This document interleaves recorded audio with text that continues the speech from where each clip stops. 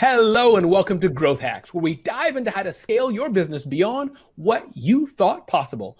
I'm your host, Ramon Ray, and I'm so happy to be joined by co host Kedma Ough and Loren Feldman. Kedma, say that better than me. Tell us a little bit about yourself and why you're so happy to be here today.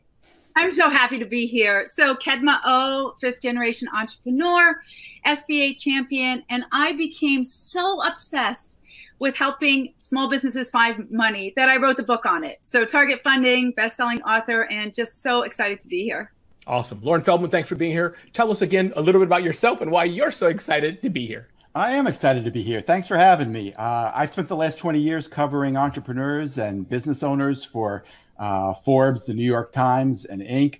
Uh, about half a year ago, I went out on my own to start a platform uh, called 21 Hats. We have a daily email newsletter that aggregates all the most important news of the day for business owners and a weekly podcast that has been tracking seven entrepreneurs through the crisis, their ups and downs, of which there have been many. Absolutely. Loren, well, thanks for being here. Kedma, thanks for being here. Let's dive into the show. You've probably seen them around town, and that what you've probably seen are help wanted signs that have been filling the window of many small businesses and large businesses for that matter nationwide. Now, the economy is reopening, as many of you are seeing, but businesses are still struggling to find workers to fill their open positions. That's a problem. The National Federation of Independent Business says over 40%, 40% of small business owners have reported unfilled job openings. And that's been the story for the past five months and what we want to focus on and talk about today. What's more, many say this lack of workers is actually hurting their ability to keep up with demand. So it's a yin and a yang situation. We want to explore today what's going on. Why can't businesses fill job openings? And should we be concerned that a later labor shortage will last? Plus, what can small business owners do to combat the lack of help and bolster their hiring rates? We'll be diving into this and more on today's show. And to help us break it all down, we have Sophie Wade joining us. She's a work innovation specialist, specialist, author of the book Embracing Progress: Next Steps for the Future of Work, and founder of Flexcel Network, a future of work consultancy. And you can find her at flexcelnetwork.com. It's my pleasure to welcome the amazing Sophie to the show. Sophie, welcome, and I hope your day is going splendid. It's going very well. Thank you, Ramon. It's lovely to see you again. Awesome. Good to see you too. And thanks for joining me and Loren and Kedma. So, Sophie, let's dive right into it. You're an expert on labor trends and more and where the labor market is headed today and in the future. How are you seeing, Sophie, help us uh, level set this, how the pandemic is affecting the labor market? What is fueling this perceived or actuality for many labor shortage? Sophie, do tell us. Well, you know, the pandemic really threw quite a challenging, uh, cha- a lot of changes that were going on in the labor market, um, and really sort of threw that into tumult because the future of work, which was coming, uh, you know, we weren't, we were sort of resisting it and worried about it and daunted by it, but then it, it was accelerated by the by the pandemic and all the digitization that that came on that, that came with it and that has really changed what we're looking at. And as the, we sort of emerge from the pandemic, everything that sort of was uh, the underlying business conditions are the future of work. And what that has meant is we have a very different focus on talent. And that talent and, and how the how our workers, how we ourselves are looking at work and thinking about and perceiving it. And basically the social contract has really changed. So what does that mean for, for, for us and how we're thinking about work? There's a there was a, a very interesting article on Business Insider which said people are epiphany quitting. Mm. So people are sort of thinking about how they're going to to interact with um, the labor market, how they're going to to spend their time, and what they're going to do. And then there are new rules being being sort of written now, being drafted, and that's what's really changing. There's so much turbulence that's but the sort of affecting all the different businesses on all sides. And and I think there's the, the you know as people are sort of coming in and looking at you know what does work mean to them? What does uh, you know what, what what lifestyle do they want to have? Where do they want to live? All of those those changes are uh, affecting how where people want to work and which businesses they want to work for? Big or small? Mm. And that's a powerful thing for sure. I think two things come to mind for me, Sophie. One is definitely the employees. I think they have the issues they're dealing with in the labor market, et cetera. Next question to follow up on that, Sophie. What's your advice, your input, your guidance for the employers? There's been a lot of culture and sh- social shifts, social shifts that have been happening just in the past, what, little over a year, with so many things that have gone on in the political world, in the business world, et cetera. How does that impact employers? What should we be looking at today? And if you can kind of project a bit forward, what should we maybe looking at the next three to six months, Sophie? I think there's some very, very interesting dynamics going on in terms of thinking about the, the overall talent pool. And this happened in 2008. There were a lot of people who were thrown into temporary employment mm. um, vol- um, involuntarily. And then they started to change how they were looking at the kind of lifestyle they were living. And that's happened in, in, a, in a much more, uh, you know, on a much grander scale this time. And so, as people sort of rethinking um, how they want to work and what kind of uh, what those parameters are, the employers can also be thinking that. And it has been changing in terms of what that extended talent pool looks like. And there are companies that are, are crafting jobs around the uh, specific people rather than putting trying to put people into sort of job boxes which they don't necessarily fit. So crafting jobs around a specific person, and then that and then sort of thinking about non-employees with specific skills and specialized skills who can fill in the gaps. And that's another thing that small businesses can take advantage of because they can sort of look at who they have as employees, where where their business is going, because it may have changed, customer customer behaviors have changed, and who who they need in what places, and how they can fill in as the market is developing. Our businesses are changing. The it's much much less predictable still and so we don't necessarily know where we need to hire someone because it might change from month to month or you know six months down the line. So really thinking about employees and non-employees and just having a, a different a sort of mindset in terms of what how how you're thinking about talent and how you're engaging them um, and really sort of bringing them on board in a different way yeah, Loren, you see, thank you, Sophie. Loren, you talk to small businesses every week and all the time. Are you echoing this? Are you seeing something different that this is definitely no longer the employer market? I think I'm saying that right. Of even 10 years ago or 20 years ago, right? We used to talk about this. This is not our father's or mother's revolution, as it were. Things are now changed so much. What are you seeing, Loren, and what can we learn from what your expertise is on this? Oh, I think Sophie's exactly right. Uh, it, there's a big mismatch out there, but it, it does vary greatly by industry. Mm-hmm. It's you know it's really difficult in some. Uh, I mean, restaurant uh, people right now are really struggling. There are others where it's it's difficult, but but not catastrophic. And I think the important thing is w- wherever you fall on that spectrum you have to look for opportunities. You have to think about what you can do. And it may mean you have to change your business model. You may have to pay people more than you're used to paying them. You may have to uh, change the way you sell your goods or services. Things, you know, things may have to change.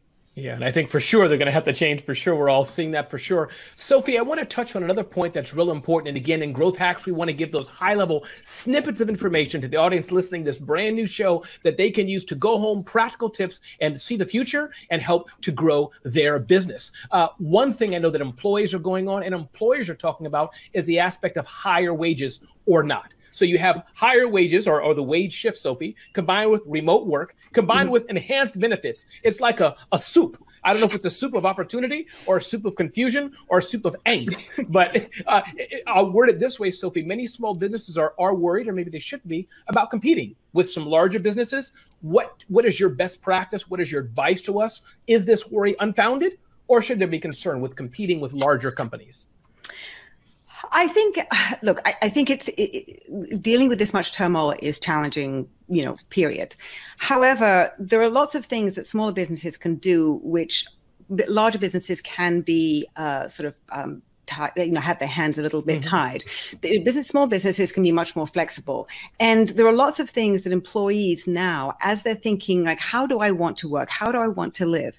Um, giving them flexibility, not just, you know, it could be location, it could be also be hours and, and really sort of working because those are working with them to sort of find the right combination um, and, and sort of uh, working with them to find the different combinations with all the different configurations of the teams that they may, may have, because that doesn't necessarily cost any money. Hmm. It's really a question of mindset and approach, and and having a different, uh, uh, more reciprocal arrangement with with employees, and that can really create the environment that in, that employee actually is really, um, you know, you know that that's the what that's what they really want. They they hmm. as long as they can feel connected with their employer, that actually gives can give them more feeling of security than working for a big organization because it's really much more of a sort of trust. It's it's to do with the connection and alignment of values and and and helping them work in the ways that they want to and and aligning them with their skills and strengths. they're doing stuff that they want to do. It may be, you know, really highlighting the purpose and the mission and connecting people. People you know enjoy their work when they feel that what they're doing matters and they understand what their con- contribution and that's much easier what the contribution actually brings and that's much easier to to, to make that connection in a smaller business i love it uh, kim i'm curious from yourself uh, what you're seeing is is the is the small business owner seeing the larger business as a competitive threat? Is that kind of zeroed out? Has COVID leveled the playing field for everybody, kind of like in the movies?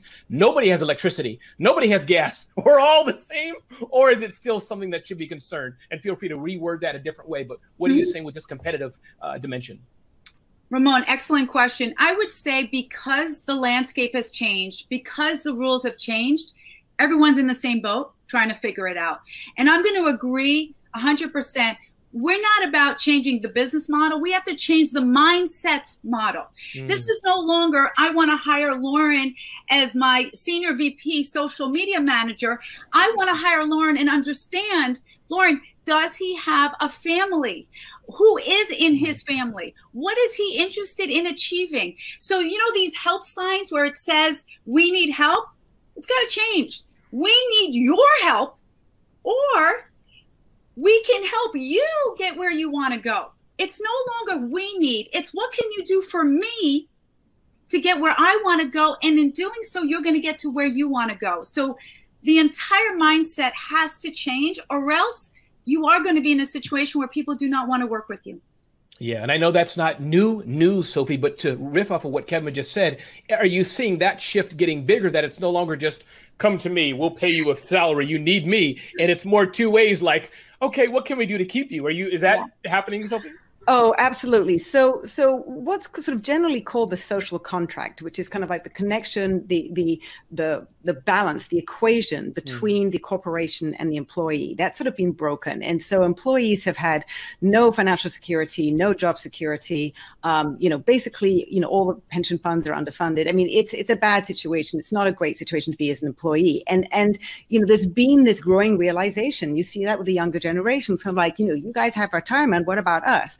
So with that shift, it's more of a connection, and exactly as Kedma says why would I go and work for an organization if you're not going to help me build my skills? Because that's what I need to to have financial security. That's what I need to be successful in the future. And I will I will bring all my skills if you help me develop them and I mm-hmm. will, you know, channel them in your direction and help your business. But we're we're in this together. And there's much more understanding of that, particularly with the younger generations. And that's where a lot of the anxiety comes from, particularly with Gen Z. But so so really bring that connection, understanding that this is a mutually beneficial arrangement and and with a, a much more powerful and I think, you know, overall a much more positive um, re- relationship um, between employers and employees going forward. That's what that's what we that's the positive um, outcome that we can create. It sounds like the relationship between me and my 23 year old daughter for sure. Anyways, um, we'll we'll have another show for that another day. Um, Sophia, supply chain's really really important to Oracle NetSuite customers. These are companies, many of them have supply chain uh, uh, products and services, shifting things globally. Can you touch on that a bit? How the the uh, new way of working, et cetera, might be affecting supply chains? Is there anything that these growing businesses can do to mitigate this? Any advice on that? It's challenging. I mean, we had, uh, you know, the ship that was stuck in the Suez Canal. Mm-hmm. We've seen, you know, all all different challenges with the supply chain. And I think one of the some of the things that I've seen really help is value um, companies that are connected along the value along the supply chain who have similar values because we're so much more integrated along the supply chain that the more that we can actually be working together in, in sort of stronger partnerships. And i see software companies you know working with their clients and, and shifting what's what's on their r&d slate in order to help their clients more. So i think you know being working more as partners working on a more integrated basis. I think also what we've been seeing with the pandemic in terms of more digitization is that there, when this it is accelerating, if the, if you don't have labor in certain areas, you're just going to have to do some automation. So that this this is really another another step in accelerating um, digitization and automation, and and you know, and some of that's beneficial because it really is putting putting human beings to, to focus on the things that we're really good at and you know non-sequential thought and inspiration um, and and sort of moving us away from some of the really dreary tasks. But it's happening much faster than we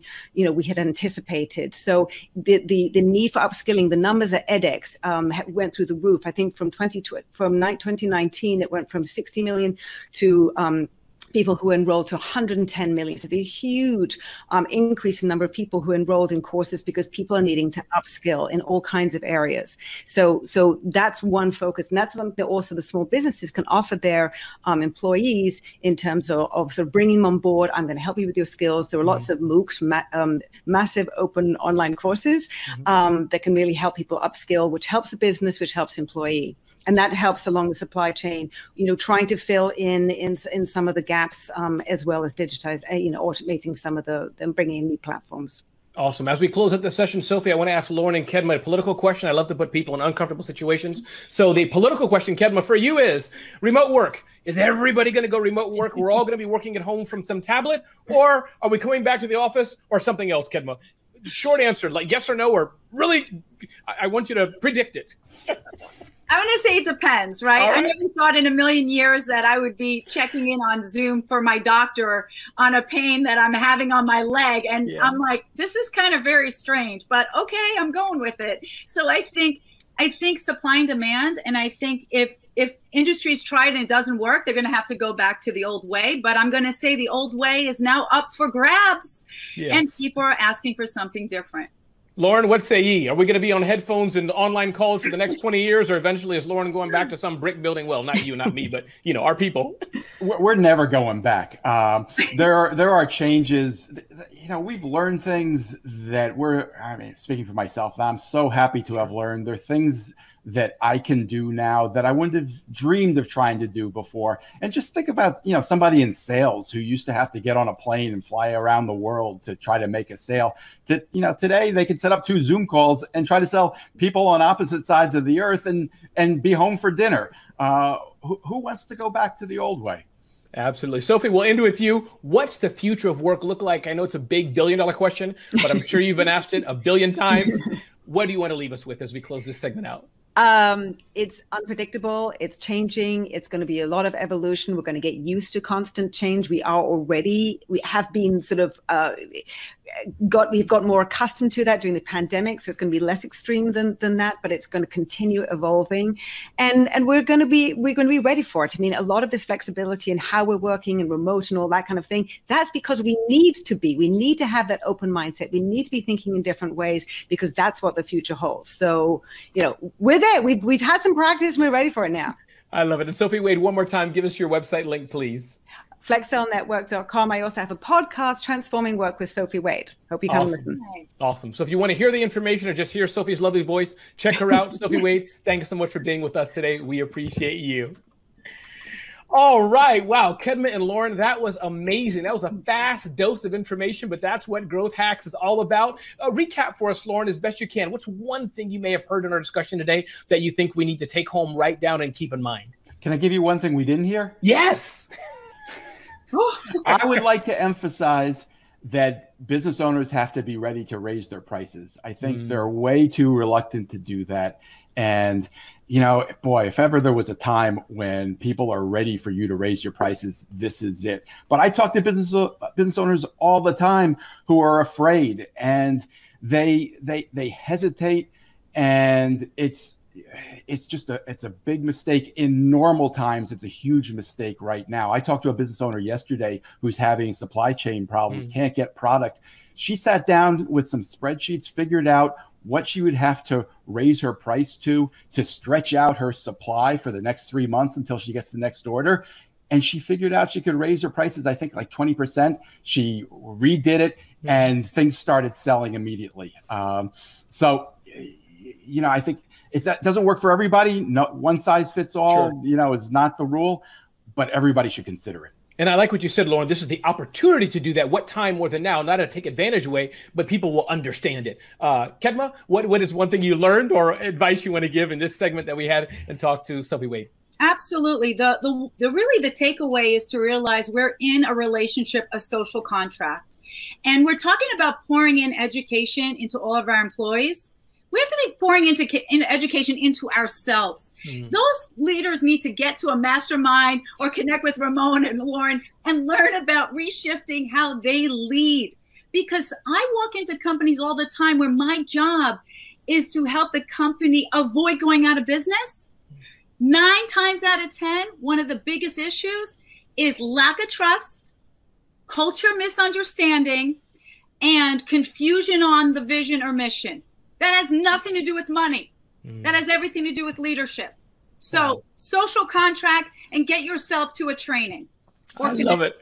Go preach, go preach, Kedma. I love it. I love it. Listen, we're going to move to segment three of Oracle NetSuite's growth hacks, and I get to interview the uh, CEO and co-founder of Beeline, and that is Jess Kennedy. Jess, thanks for joining us today, being with us. This is going to be a fun discussion for sure. All about we had first an expert on the future of work and these things. Today we get to talk to a business owner that's going through some of these challenges. Jess, it's good to have you here. Please do tell us a bit about yourself and about Beeline.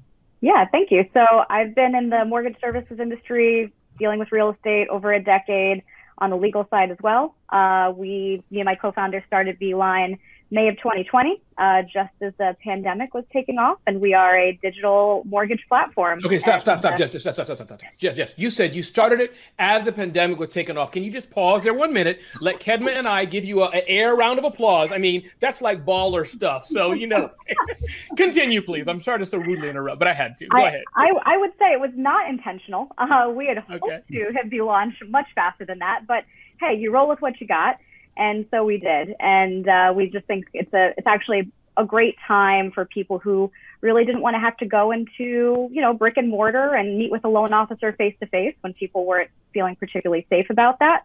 So it filled you know it filled a need that we didn't know was going to be there but uh, we do think people want to have that easier financial product that uh, they don't currently have in the mortgage side. We have it kind of in other mortgage or other financial services products but not really in mortgage. And we're hoping to fill that gap for people yeah, and I want to get into the hiring aspect, but I do want to ask one follow up question. Is what you're doing hard to do? It's more rhetorical because I assume it is. But when I heard the word mortgage and houses and real estate, I'm already getting a headache. I don't know about Loren and Kedma, but I'm already getting dizzy. So is this hard to do what you've done and are trying to do and doing?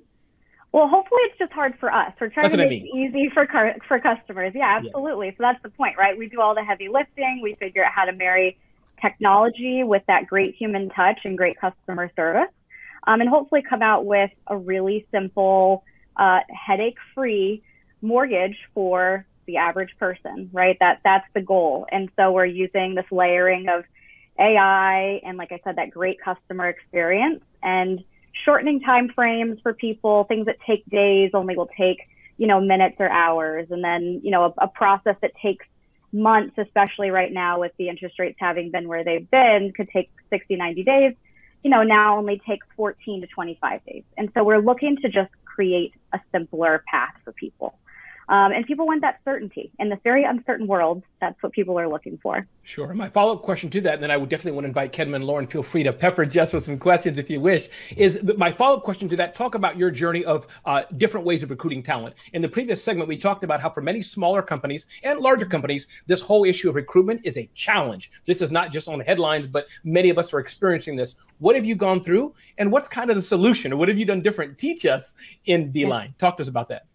Yeah, so coming out in the pandemic meant we've done all of our hiring uh, since the pandemic. I think there were seven of us pre-pandemic times. And now we have 89. Wow. So we, yeah, so we've we've done it all in this environment, and it's had its challenges. You know, it's been challenging to get the culture fit down and really understand what that looks like for us and the employees that we're, you know, trying to, or the candidates we're trying to recruit online and these types of you know video interactions. Mm-hmm. We've also shortened the cycle time quite a bit uh, because you can have multiple people interview at one time uh, from our side with a with a potential person that we want to hire.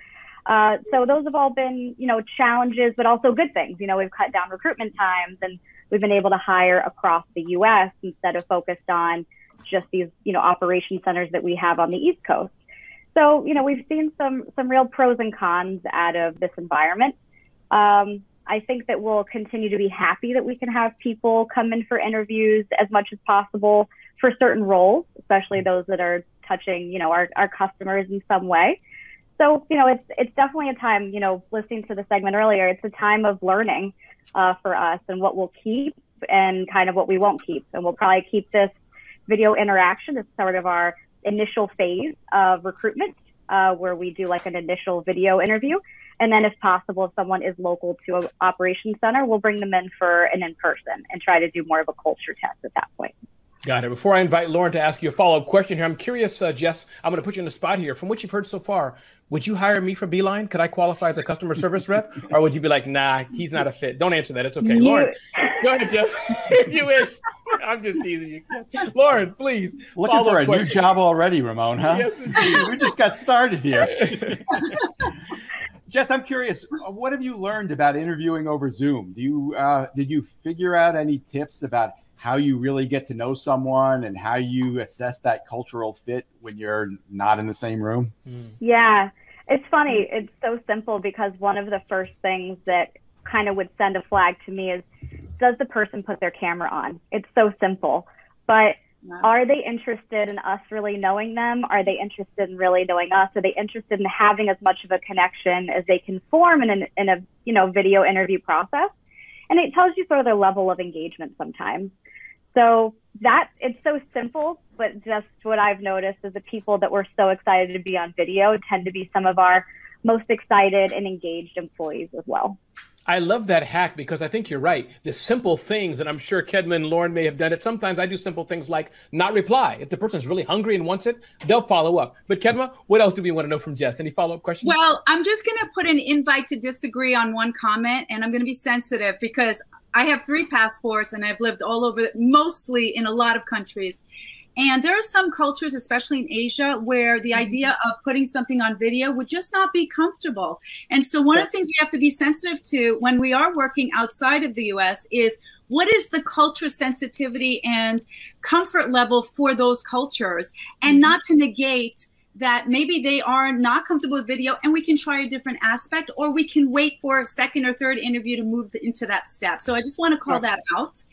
I love what Jess is doing. What I heard was you're giving me peace, convenience, and mm-hmm. time management. You just happen to do it in the mortgage space. So um, I love that. And one last thing I would say is um, in terms of just recruiting, I think it's every single day, I would say it's about making sure that whoever is coming on board feels like they're going to be special. Mm. Yep. Feels like they're going to be special. And honestly, Ramon, we have no issue as a company to spend thousands of dollars for a 30 second commercial to talk about product and services, but we don't think about that when we're trying to recruit. Mm. That's true. That's true. Jess, yeah. what can we learn from you uh, as we as we continue on here about remote hiring? There's many companies here listening to the Oracle NetSuite Growth Hacks show that are in the same boat you've done. So, can you give us one or two more tips or insights of people who are hiring remotely? I can't see the person, can't shake their hand, can't do the typical thing. Let me drive in your car. We've heard that before. I can't take them to a restaurant. what do I do? Yeah, I mean, you know, we we are big on trying to connect with people on that personal level, and sort of what Kedma was talking about with you know, the employee wants to know how what they're going to be a part of at Beeline is enhancing them. And so what we're really big on is giving them the vision for the company and how that vision for the company is inclusive of them and what that means for them, their family trajectory, their financial success. You know, like you said, they're upskilling, you know, things that they never would have done before. And for us at Beeline, that's that's maybe a little bit easier than other places because we're trying to enter in as a disruptor into this environment, into mortgage, Well, we are doing things differently and people can see that as an opportunity for themselves. Like, hey, I can be part of this company that's trying to do it better than the bigger players in the space that don't use technology. And how does that, you know, how will that impact me years mm-hmm. to come? And we have this really big vision that they can be a part of. And so getting into the vision pieces with them for us is really big to understand their level of engagement and hey, is that something they're interested in? As a startup, that's not for everybody, right? Mm-hmm. So we can easily see sometimes like, hey, maybe that's not the path for this person. They they really love structure. They really love knowing what that job will be. They love knowing what their hours will be. Some people, that's where that's that's where they thrive, right? And so I don't want to put a square peg into a round hole. So I'm pretty open and honest about that in my interview process with them. Um, and so I think that's really important to get out in a video interview instead of waiting for the person to come sit in the seat and find out these things the hard way. Um, and then it's just not a good fit for them or for us. So uh, it's making sure you don't let the video interview be non transparent because you feel like you have to wait for them to be in person with you or to be in the seat to share certain details. And I think it can be easy to short, sort of not share as much via an interview video process. But but we kind of take the opposite approach, approaches where maybe we're uh, very very transparent during the interview process. One final question I have for you, uh, Jess, and again, it's so good to have you here today. Have you made any mistakes? Has there been anything in the 90 people you've oh, yeah. hired, and I don't need to know their name or address or social security number, but uh, anybody that you can think of, you know, you know, George or Margaret or Ramon, I'm getting into hot water here. Forget the name. The point is, Jess, have you made any mistakes where you're like, you know, Ramon, we hired these five people, 10 people, 20 people, or this two yeah. people. Here's what we did wrong, and we should we we, we short circuited maybe, or we we know we should have done these 10 steps. We did nine anything like yeah. that's happened to you? Yeah, definitely. Um, for sure, because of the virtual environment that we're interviewing in, we, especially in the earliest days, we were finding it hard to really understand the actual skills of mm. the people that we were mm-hmm. hiring. And being in an industry like ours, you have to know a lot of really specific and rather technical things. And so, not being able to evaluate that as easily um, and being so new, we didn't have these evaluation methods early on, and we're relying on more ad hoc questions during interviews. I would say that that was how we made, uh, you know, our earliest mistakes in our recruitment mm. efforts.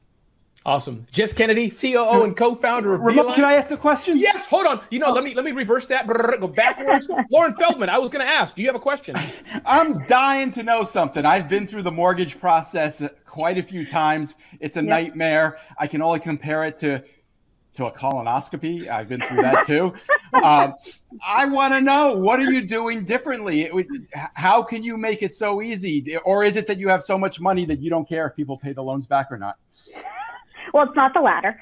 Okay. Um, so let's let's not start there.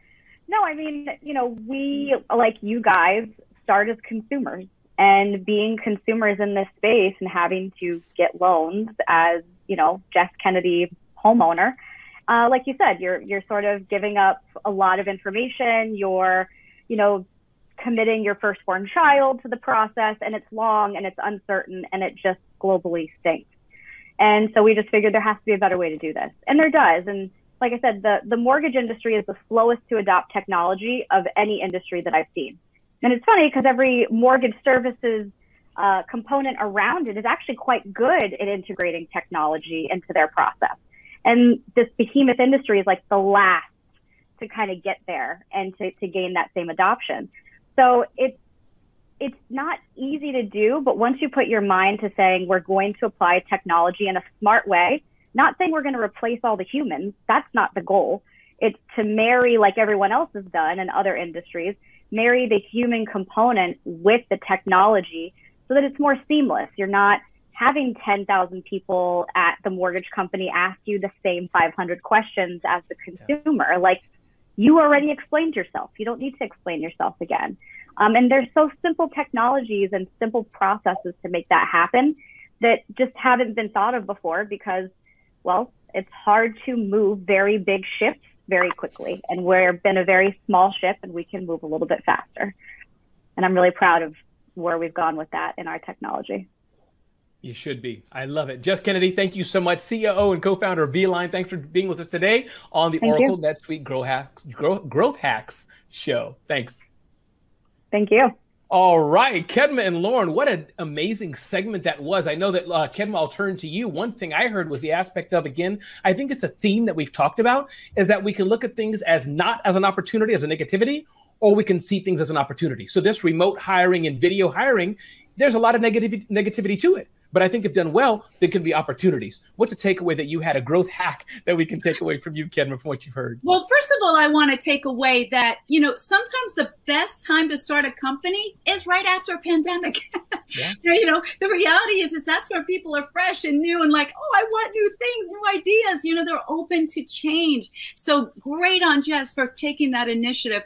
And second to that, what I really love about this is taking something like videos and making it work. Sure, you know, with 90 uh, situations, there's going to be situations that are not comfortable. There may be um, pivots we have to do with like introverts who mm. don't really like to be on video. Sometimes I have to train those introverts to say it's okay.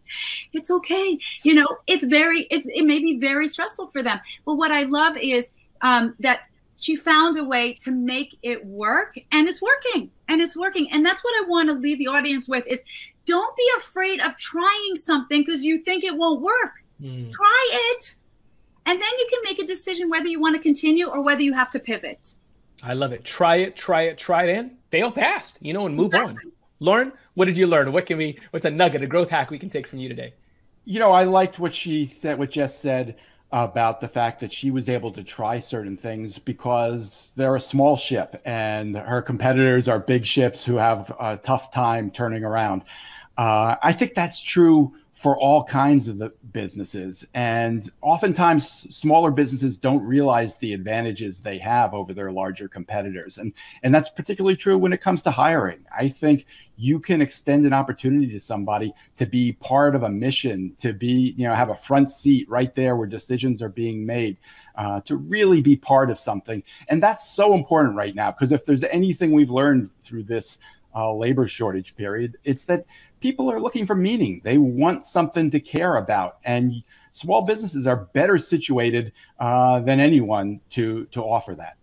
Absolutely. Listen, Loren and Kevin, this has been fantastic. And I want to encourage the Oracle NetSuite Growth Hacks audience. If you have questions, you have comments, you have thoughts, please use the comments function below or over there, up there, there, and talk to Kedma, talk to Loren, talk to myself. We are here to help answer your questions. Our guests are here to answer your questions and to help you grow your business. Before we go to the next segment, Kedma Ough at kedmao.com and targetfunding.com. Loren Feldman, founder of 21 Hats Podcast at 21hats.com.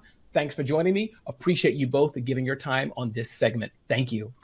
As we go to the next segment, just to remind you all again, we want to hear from you for sure. And now, our final segment of the show, we want to talk about some top stories that may interest you. They could be fun and they could help your business one number one, unicorns are taking over. A new report from CB Insights shows that 136 new startups achieved a billion dollar valuation last quarter. That's big money and that's good news. The number of unicorns grew 491% over last year. Top story number two. And the Labor Department says the consumer price index increased by, wait for it, 5.4% in June. This is the highest 12 month increase since August 2008, with high prices for used cars and trucks accounting for more than a third of the index range. Maybe they got me in that index somewhere too. And top story number three. And throwing back to the 90s is priceless unless you're an unopened copy of Nintendo Super Mario 64, which just sold for, wait for it, $1.56 million at an auction in Dallas, the highest price ever paid for a single video game. That's our top stories on Oracle NetSuite's growth hacks. We're so glad to have you with us today. And that does it for us here on this growth hacks episode. But wait for it. Join us next time where we continue to dive into how to scale your business. We'll be back on Thursday, August the 5th. Again, that's Thursday, August the 5th at 11:30 a.m. Pacific time. I will see you next time. Thanks so much for watching.